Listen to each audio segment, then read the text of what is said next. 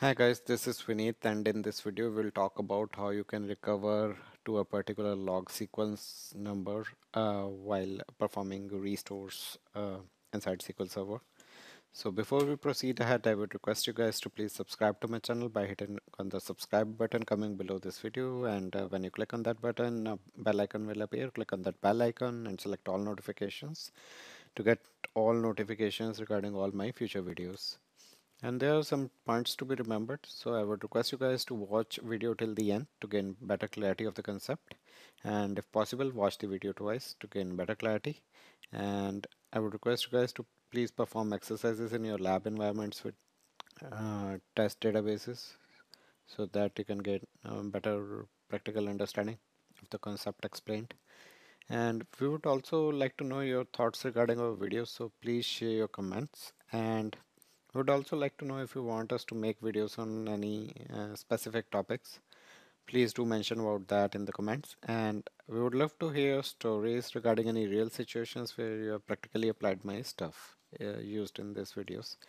And let's come back to a topic. So it's how to recover to a log sequence number. So let's discuss a little bit about the log sequence numbers. So what are log, log sequence numbers? These numbers are used internally by SQL Server during restore sequence to track the point in time to which the data has been restored. And when the backup is restored, the data is restored to LSN corresponding to the point at which the backup was taken generally. We can restore it to a specific LSN as well. This is what I will show you in the video. So let's go back to SQL Server so the database here we will be using Northwind database. So I prepared a file for this uh, practical where we have a series of uh, some SQL commands. So the backup file, I already have a backup file. In this backup file, I have uh, a full database backup. Even in fact, I would say there are two full database backups and multiple transaction log backups. So let me show you the sequence. So if I use this command restore header only, this uh, just only populates the information out of this uh, file, database backup file. So you see uh, there's a column for backup type. So backup type one is the full database backup. Any backup types two are the transaction log backups. Again, this is the full database backup and these are transaction log backups. And there is a file position for these uh, as we are only using a single file and we have taken all the backups inside the single file multiple full database backups and multiple log backups. So this is the position of each and every backup. So this can be denoted by file file number. These are file numbers. And let's take a look. So it also mentions the dates when the backups were taken few few are taken today some were taken earlier. So what we will do we will do a restore till a specific LSN point. So each and every backup has the starting LSN point and the ending LSN point. So you see each backup has the starting and last L LSNs.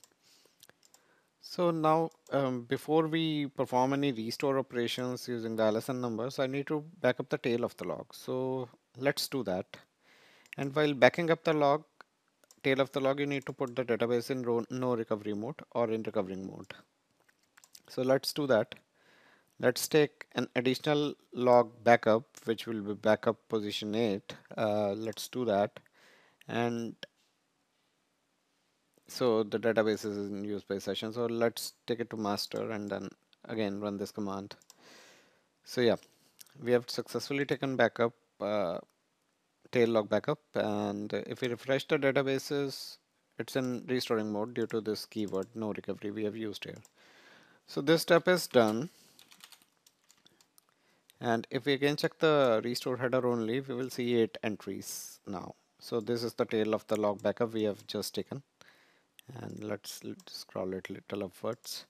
Uh, not required. I think this much is enough. So we have total of eight backups in here denoted by file numbers and the tail of log backup is done. Now what we will do? We will do a restore with file equals 1. As this backup set contain multiple files, we need to specify the file number. So I'm restoring it till position 1 and I'm restoring a full database backup now. So I need to mention file number, so which is pertaining to this position. So I'm still making it no recovery because I will restore one more log backup after that before we fully recover the database. So we will restore these two files, but in second file, I will restore it to a specific LSN number.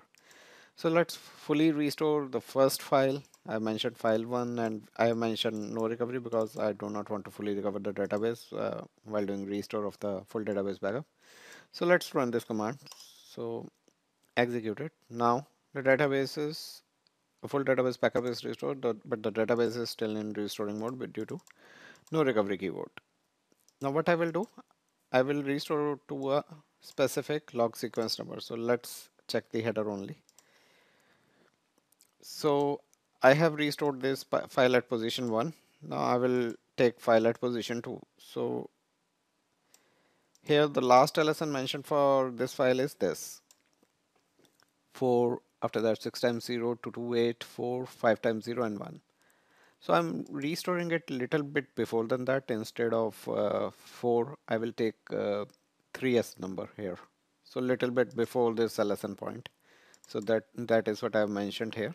So I will perform a recovery using file 2. Here I'm using recovery keyword instead of no recovery because I want to fully recover the database after this uh, file set is uh, restored and to a specific LSN number uh, which is denoted by stop at mark you need to specify stop, stop at mark and you need to specify the LSN number uh, at which you want to restore uh, by uh, this notation. And uh, there is also another keyword stop before mark. So which can be uh, used to mention the LSN number. The restore will just stop one LSN before that mark or the LSN number which you give here. But we are stopping at uh, a particular LSN mark. So let's do this. So what I'm doing earlier I have restored a database. Now I'm restoring a log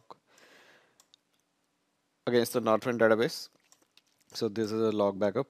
So type 2, right? So mention log uh, and I'm restoring it from a disk and uh, I'm stopping at mark which is the LSN number uh, little bit before than this number and file specified file is specified we are using the second file and we are doing a full recovery so let's perform a restore database is restored successfully. Now if you refresh the database, it, it is fully online and uh, queries can be executed against this database. So I hope you uh, I hope that you got the lesson concept and uh, and I also hope that you also like this video. If you really like this video, please click on the like button and do share your comments with us. Share this video with your friends. Subscribe to my channel. Hit the bell icon. Select all bell notifications to get notifications regarding any future videos. And do let us know if you would like us to make videos on any particular topic. We will try to make them. And I thank you so much for your time on this video uh, during this day. And you have a wonderful day ahead. Thank you.